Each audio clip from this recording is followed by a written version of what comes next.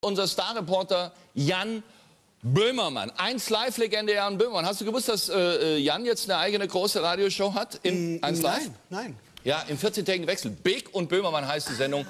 Äh, extrem erfolgreich, vier Stunden jeden Nachmittag auf 1 Live. Und, und das Tolle ist bei Jan, er ist wirklich so ein wirklicher Workaholic. Er ist morgens bei uns bei der Redaktionskonferenz, liefert noch Top-Ideen und läuft dann rüber zum WDR, um dort zu Sendung machen. Und warum ist er so erfolgreich, meine Damen und Herren?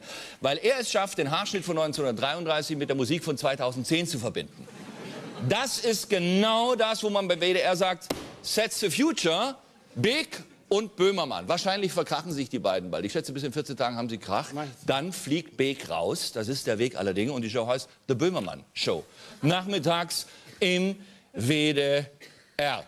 Und Jan Böhmermann hatte sich trotzdem Zeit genommen, obwohl er fünfmal die Woche diese vierstündige Radioshow am Nachmittag trägt. Er trägt sie. Er trägt sie mit seinem Assistenten. Er war auf dem nordrhein-westfälischen CDU-Parteitag bei der Krönungsmesse für Norbert, ich bin der beste Freund von Armin Laschet-Röttgen. Und er hat sich dort umgesehen, was macht diesen gut aussehenden, smarten Clooney vom Rhein verdammt nochmal so erfolgreich. Wie scharf will es die CDU noch treiben? Erst Sexbombe Volker Bouffier in Hessen und jetzt in Nordrhein-Westfalen der George Clooney von Meckenheim. Norbert Röttgen, Bundesknackarschminister und Panther-Fan sieht schon auch von weitem verdammt gut aus. Ne? Das ist keine Frage, wo ich drüber urteile. vielleicht die Damen. Ja, stellen Sie sich mal vor, mit freiem Oberkörper, schön mit Babyöl eingerieben. Das ist nun wirklich absurd. Die CDU-Parteibasis hat den geilen heißen Schoß sprechen lassen. Die rassige Raubkatze Röttgen soll es sein. Und mal ehrlich, wer träumt nicht davon, mit dem graumelierten Großkatzenminister mal so richtig das Gleisbett zu schottern? Wildes Kinngrübchen, makellos schöne Gesichtshaut, so sexy, dass er in Berlin bleiben muss. Und die Weiber stehen natürlich Schlange. Wie war das gerade, äh, beim Norbert Röttgen so nah dran zu sein?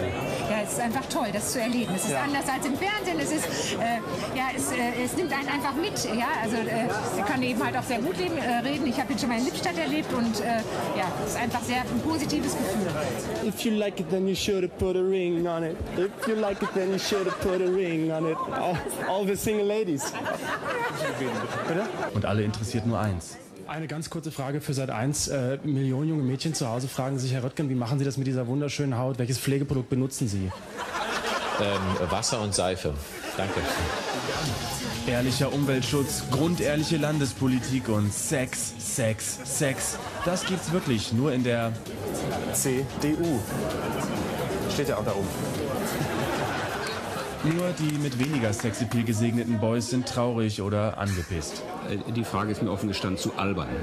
Äh, Politik ist auch mit Abstand zu wichtig, als dass sie an solchen Kriterien wie sexy oder unsexy gewertet äh, werden dürfte. Ich halte es für ein irrelevantes Kriterium und ich sehe auch gar keine Notwendigkeit nun zu dementieren, dass er nicht gut aussehe.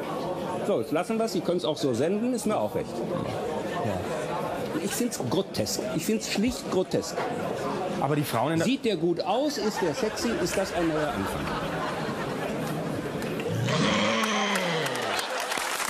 Unser Bundestagspräsident Norbert Lammert.